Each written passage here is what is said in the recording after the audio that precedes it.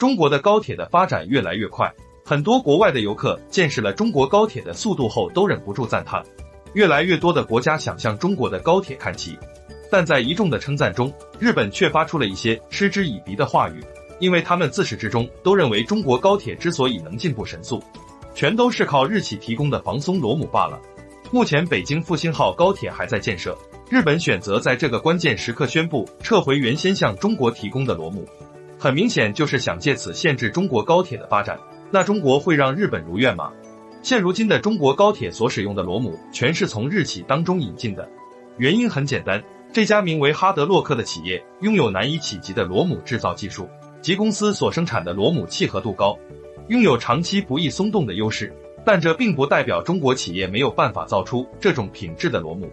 日本方面想要通过撤回螺母的策略，让中国对其低头的想法极其愚蠢。很多人好奇这次日本撤出螺母会对中国高铁建设造成怎样的影响？在回答这个问题前，我们先来看一下中国基建的实力。早在京津城际高铁成功开通后，中国高铁已经跻身世界一流基建水平。从那以后，便有很多国家愿意请中国帮忙建设本国高铁。而现在，中国的基建水平明显有了更高的提升。如果我们想要自己生产螺母，是完全没问题的。因此，就算没有日本的螺母，也不会造成太大的影响。众所周知，中国的工业发展一直在不断的进步，尽管仍然存在一定的不足，但总的来看，工业基础还是非常强大的。中国工业上的短板，只是因为暂时顾及不到罢了。因为我们需要把更多的精力放在攻克许多重要的技术难关问题上，只有这样，中国的工业才能继续进步和发展。与此同时，我们不禁想起了圆珠笔芯事件，国内并非造不出这些产品。只是并非首选，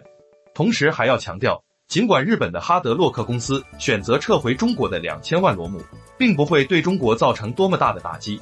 说实在的，之前国内的大型钢铁公司不愿意做一条专门的哈罗姆生产线，无非是因为投入和回报的比例不够吸引人罢了。